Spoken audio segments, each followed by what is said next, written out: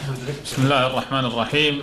الحمد لله رب العالمين والصلاة والسلام على أشرف الأنبياء والمرسلين نبينا محمد وعلى آله وصحبه أجمعين. أما بعد في البداية نتقدم بالشكر الجزيل للأخوة في نهج والأخ الدكتور وليد الطبطبائي على الدعوة وعلى تنظيم مثل هذه الندوة والتي المفروض أنها يعني موقف الشعب الكويتي لا يحتاج إلى إعلام بل يجب أن يكون من خلال السلطة ومن خلال النظام تجاه السعودية الدولة التي لها مواقف لا تنسى وتعتبر هي الشقيقة الكبرى لكل دول الخليج وليس للكويت ولكن مواقفها مع الكويت كانت مواقف جبارة مواقف لم تقف دولة كالمملكة العربية السعودية وقفتها في الكويت في محنتها أشد محنة مرت على البلد. وهي الغزو العراقي الغاشم. أه تاريخ إيران يا أخوان تاريخ سيء. تاريخ إيران مع الكويت لم نرى من إيران أي خير في هذا البلد. بل كل الشر نجده من هذه الدولة التي لا تريد خيرا لا في الكويت ولا في أي دولة أخرى إلا في دولتها الفارسية العنصرية حتى الأقليات والقوميات الأخرى التي موجودة داخل ما يسمى إيران هي أقليات مهضوم حقها مغتصبة أقليات غير محترمة في في إيران وهي وهي مع ذلك تحمل الهوية الإيرانية. فإيران دولة فارسية دولة عنصرية لا تضمر الخير لكل الفئات الأخرى والدول الأخرى والقوميات الأخرى. ولذلك نحن مع إيران لو نسرد تاريخ ما عملت إيران في الكويت لوجدنا الخلايا ووجدنا التفجيرات وكلها مثبتة يعني مثبتة بإجرام مثبتة بقضايا أحكام نهائية كما حدث في قضية الخلية التجسسية وقد صدر فيها حكم نهائي حكم التمييز. أيضا الخلية الأخيرة التي قبض عليها أمن الدولة وقبضت عليها الجهات الأمنية في الكويت هي يعني خلية يعني المفروض أن الدولة تنتبه لمثل هذا الخطر العظيم الذي يهدد الكويت. خلية مجموع أفراد المنتمين لها والتي قبض عليها ما يقارب 26 شخص. 25 من هؤلاء كويتيين وواحد فقط هو غير كويتي وهذا أمر خطير جدا يا أخوان.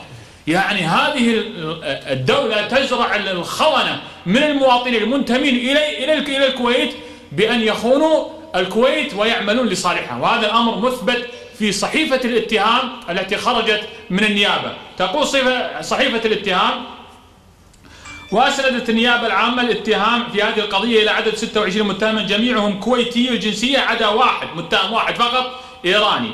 وأمرت النيابة العامة بحبس ووجهت النيابة العامة إلى عدد 24 من هؤلاء المتهمين. تهمة ارتكاب أفعال من شأنها المساس بوحدة وسلامة أراضي دولة الكويت. هذا كلام خطير يا أخوان. وتهمة السعي والتخابر مع جمهورية إيران ومع جماعة حزب الله التي تعمل لمصلحتها للقيام. شوف التهمة.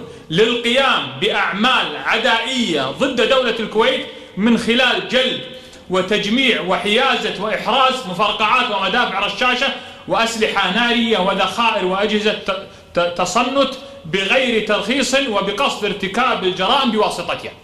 هذا مو كلام بدر الدهم ولا كلام الأخوة النواب ولا كلام أي واحد هذا كلام النيابة العامة. هذا كلام هذه صحيفة اتهام من النيابة العامة. قال كما وجهت إلى عدد 22 من هؤلاء المتهمين تهمة تلقي تدريبات وتمرينات في حمل واستخدام المفرقعات والأسلحة والذخائر بقصد الاستعانة بها في تحقيق أغراض غير مشروعة. فضلا عن تهم حيازة وإحراز المفرقعات والمدافع الرشاشة والأسلحة النارية والذخائر بغير ترخيص كما وجهت إلى عدد من المتهمين تهمة الانضمام والدعوة إلى الانضمام إلى جماعة حزب الله التي غرض غرض هذه الجماعة غرض جماعة حزب الله. نشر مبادئ ترمي إلى هدم النظم الأساسية بطريقة غير مشروعة والانتقاض بالقوة على النظام الاجتماعي والاقتصادي القائم في البلاد. هذه جماعة حزب الله بحسب ما جاء في صحيفة الاتهام للنيابة العامة لهذه الخلية. وأيضا تهمة الاشتراك بطريقي الاتفاق والمساعدة مع آخرين في تدريب متهمين آخرين على استعمال المفرقعات والأسلحة بقصد الاستعانة بمن يدربونهم على تحقيق أغراض غير مشروعة. هؤلاء حكمهم خيانة والخيانة تستوجب الإعدام. وإذا لماذا نحن نتعاطف مع إيران ونتعاطف مع الخونة الذين للأسف يعيشون بيننا وهم يحملون الجنسية الكويتية ويقول أحدهم يعني أحد الأشخاص يروي لي يقول وهم يعملون في موقع حساس في البلد موقع حساس وخطير. يقول كنا نتناقش فقال لا تتكلمون على رئيسي. قال من رئيسك؟ قال رئيسي أحمدي نجاد. بهذه الصراحة وهذه الجرأة الوقحة. هذا من يستحق أن يسحب جنسيته وهذا من يستحق أن يرمى إلى إيران. لا يستحق العيش معنا ليس إخواننا عبد الله البرغش والشيخ نبيل وأحمد الجبر وسعد العجمي الذين تسحب جناسيهم. نحن نتعامل مع هؤلاء للأسف الحكومة تتعامل مع أذناب إيران باستحياء بخوف. إلى متى هذا الخوف؟ إلى أن تذهب الكويت؟ يعني يجب أن نتعلم من التجربة البحرينية.